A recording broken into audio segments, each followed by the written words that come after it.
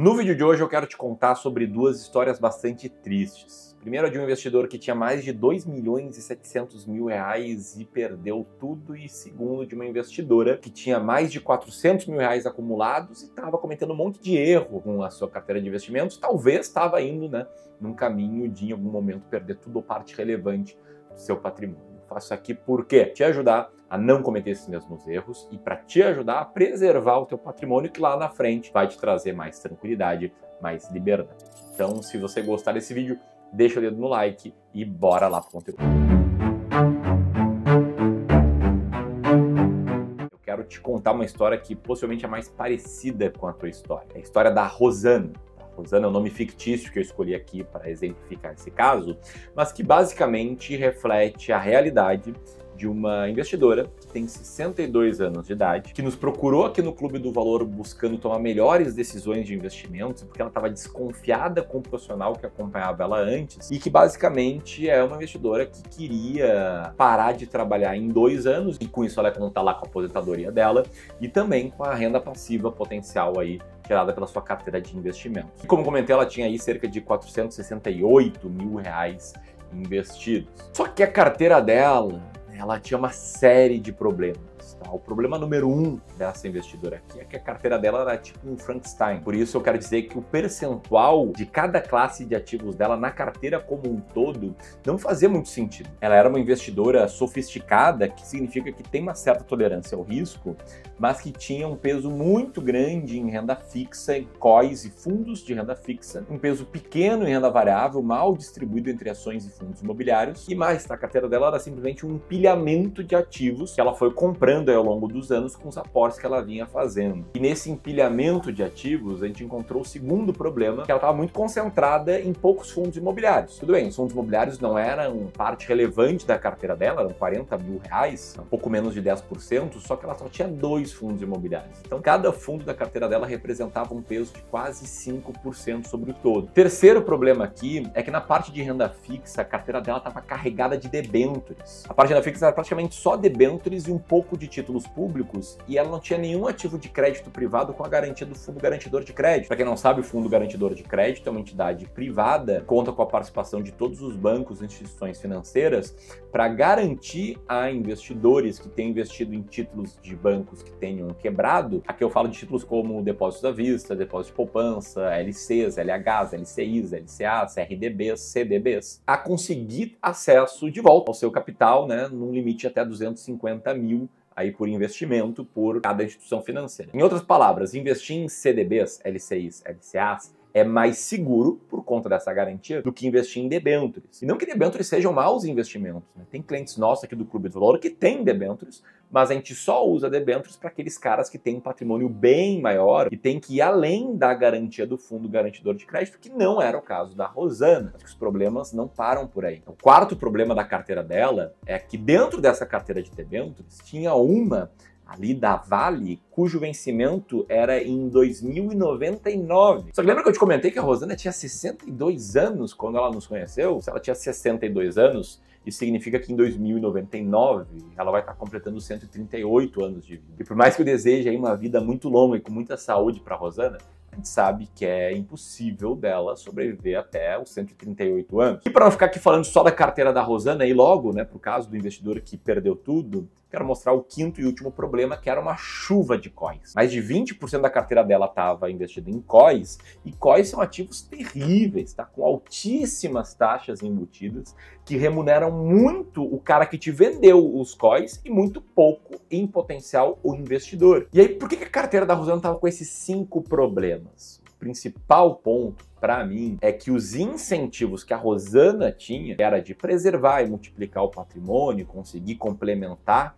a sua renda de aposentadoria com o patrimônio, eram diferentes dos incentivos do cara que estava assessorando ela. Em outras palavras, tá? a gente viu aqui uma série de ativos como debentures, COIs e até mesmo títulos públicos por fora da plataforma do Tesouro Direto que geram comissões muito grandes para o cara que te faz comprar esses ativos. Eu sei muito bem disso porque eu tenho uma empresa de investimentos, eu conheço vários assessores de investimentos e sei que muitas vezes na plataforma de uma corretora, o assessor de investimentos tem acesso a uma tela parecida com essa aqui que eu tentei reproduzir numa planilha. É uma lista de ativos como debêntures, CRI, CRAs, COIs, né, com seus respectivos vencimentos, rentabilidade mínima e máxima que ele pode oferecer ao cliente. Então isso é uma coisa legal que a corretora faz, ela pelo menos limita né, a comissão que esse cara pode ganhar e que basicamente quanto menos rentabilidade esse cara passar para o cliente, maior vai ser a comissão dele. E esse tipo de ativos, tá? Debêntures, CRIs, CRAs, eles pagam comissões muito grandes, muitas vezes bem superiores a 1%. E o pior ainda são os COIs. COIs oferecem comissões aí que não raro passam de 3% até 4% para o cara que te fez investir nesses COIs sem contar a parte que a corretora ganha. Então, se está investindo 100 mil reais em COIs, como a Rosana ali, por exemplo, ela nem percebe, mas ela está pagando até 4 mil reais para o cara que fez ela investir nesses COIs, mais uma taxa para a corretora. Só que ela não percebe porque essa taxa está embutida ali nos ativos que ela está comprando. Eu quis te contar essa história da Rosana porque ela é muito mais parecida com outras histórias que a gente vê aqui diariamente no Clube do Valor, com investidores que a gente faz análise de carteira. Aliás, se tiver aí 500 mil, 1 milhão, 2 milhões de reais investidos e quer que a gente faça uma análise da sua carteira para ver se ela tá boa ou se ela tá que nem a da Rosana, a gente está com vagas abertas, tá?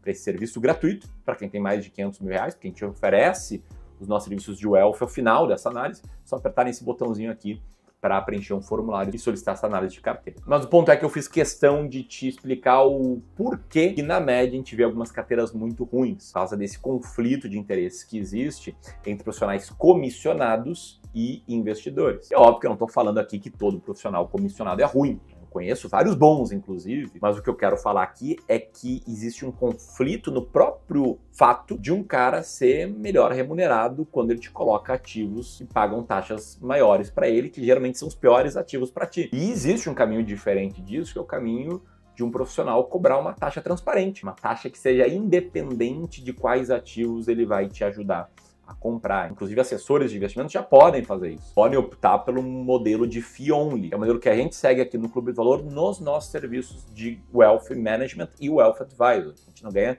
nenhuma comissão por ativos, a gente ganha uma taxa que é a mesma, independentemente de como a gente vai investir a tua carteira. Mas vamos lá para a história triste, tá? A história aqui de um investidor que nos contatou bastante tempo atrás, né, no final de 2017, relatando aí que ele tinha um patrimônio de cerca de 2 milhões 750 mil reais e que queria né, fazer um diagnóstico da carteira e queria saber se a nossa consultoria de investimentos, na época a gente chamava de AGM Life, hoje a gente chama de Wealth Advisory, era o produto adequado para ele. A gente conheceu bem esse cliente e entendeu que a carteira dele estava toda alocada numa CRI da Oderbrecht. Só qual é o ponto aqui, tá? A gente estava falando do final do ano de 2017 e esse investidor tinha feito esse investimento alguns anos antes. Essa CRI ela tinha sido emitida em 2013. E de 2013 a 2017 estourou uma série de escândalos ou supostos escândalos. Né? Era comum nessa época a gente ver manchetes como essa que está aí na tela agora,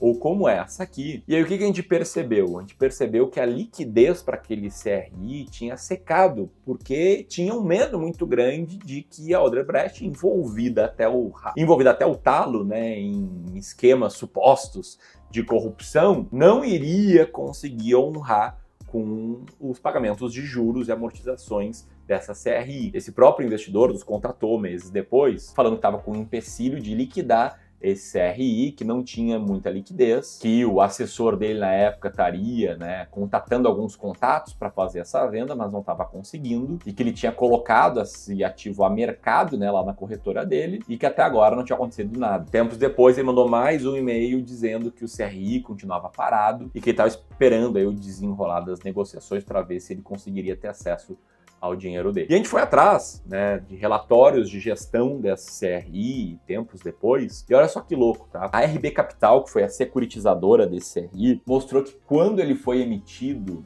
o rating da Odebrecht era bom, era AA-. Só que com o passar do tempo e os esquemas de corrupção vindo à tona, o mercado percebeu que existia bastante risco ali, e depois disso tudo, lá no final de 2018, o rating foi atualizado para CC, que é um rating horrível, um alto risco de calote, e mais, né, em junho de 2019, ele foi atualizado para D. E o que estava ali subentendido ficou óbvio com o passar do tempo, falaram ali do risco de possível calote nesse CRI, que de fato fato foi o que aconteceu. E embora a gente não tenha uma base de dados com a cotação de CRIs, essa é uma base restrita que a Ambima tem acesso, o fato é que possivelmente esse investidor perdeu todo o dinheiro dele por ter tomado uma decisão ruim e influenciado, é claro, por um profissional que tinha um interesse conflitante com o do cliente. Provavelmente ganhou uma comissão boa, né, 1,5%, 2%, 3%, quem sabe, sobre os quase 3 milhões que esse cliente tinha investido. E o que, que você pode aprender com isso para não cometer erros assim, para não ter prejuízos assim e para se tornar um investidor melhor, tá? São três coisas. A primeira,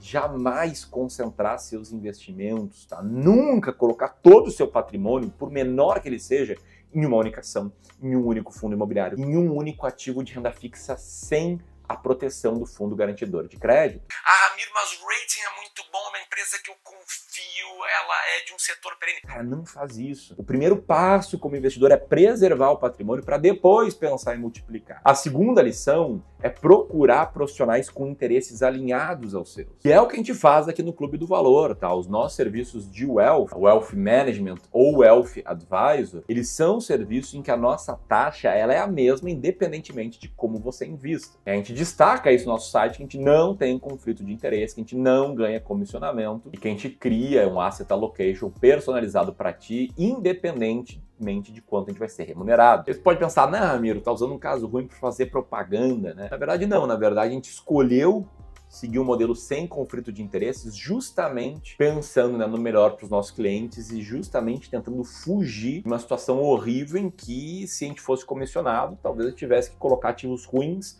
na carteira dos clientes para ganhar mais e ser devidamente ou bem remunerado. E a terceira e principal lição é ter uma estratégia clara de investimentos. E como eu falei, nem todo profissional comissionado é um profissional ruim. Claro que existe um conflito inerente aqui à profissão, mas tem profissionais bons. E se você tiver uma estratégia clara, tiver uma boa noção de investimentos, esses profissionais bons podem fazer um bom trabalho contigo. Então, se você quiser ter uma estratégia clara de investimentos, vou deixar aqui o link para download de um e-book que eu explico como investir um milhão de reais. Também é bem válido para quem tem um patrimônio menor para investir, que eu trago a estratégia de alocação de ativos. E aqui eu vou deixar o link para um vídeo sobre como montar uma boa carteira de investimentos. E se você gostou desse vídeo, compartilhe com seus amigos e ó, aperta aqui para te inscrever no Clube do Valor. Um grande abraço e até mais.